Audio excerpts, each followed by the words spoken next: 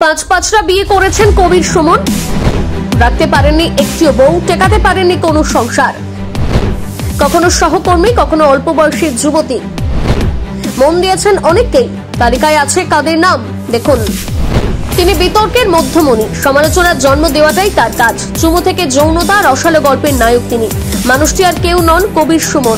মুখ্যমন্ত্রীর ঘনিষ্ঠ হিসেবেও যথেষ্ট নামডাক রয়েছে তার। মমতার প্রসঙ্গে কেউ নেতিবাচক ইঙ্গিত দিলে তাকে ছেড়ে কথা বলেন না। সোশ্যাল মিডিয়ায় সরাসরি করে বসেন ব্যক্তিগত আক্রমণ। সে বুদ্ধিজীবী হোক বা রাজনৈতিক ব্যক্তিত্ব, সম্প্রতি বঙ্গ রাজনৈতিক চর্চায় উঠে এসেছেন কবির সুমন। মুখ্যমন্ত্রীকে নিশানা করায় অপর্ণা সেনকে বিদলেন তিনি। অপর্ণা সেনকে কটাক্ষ করতে গিয়ে তিনি একটি বেফাস মন্তব্য করে বসেন, জানিয়ে তোলপাড় রাজনীতির অন্দর মহল কবির সুমন বলেন, আমি পাঁচবার বিয়ে করেছি। যতবারই বিয়ে করা হোক না কেন, মনে হবে বিয়ে করে ঠিক হয়নি। এই বক্তব্যের পরে শুরু হয় চর্চা। লোকমুখে ঘুরে বেড়াচ্ছে কবির সুমনের পাঁচ পাঁচটি বিয়ের গল্প। কোথায় পেলেন এতগুলো বউ? কবে করলেন এত বিয়ে? এই নিয়ে সরগরম নেটপাড়া এখনও পর্যন্ত মোট তিনজন স্ত্রীর তথ্য পাওয়া গিয়েছে।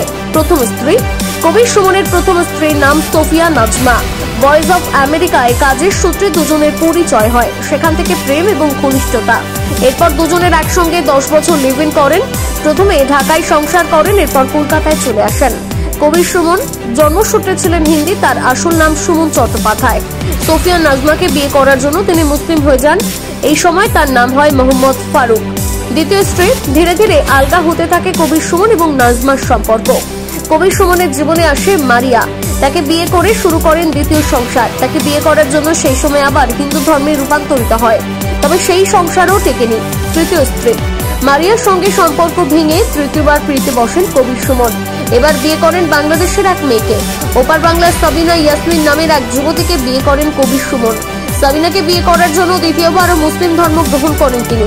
এইবারে তিনি ধারণ করেন কবি সুমন নামটি। এই তিনজনের নাম জানা গেলেও এখনও পর্যন্ত বাকি দুজনের নাম জানা যায়নি। তারা কারা? এই নিয়েই চলছে জোর গুঞ্জন।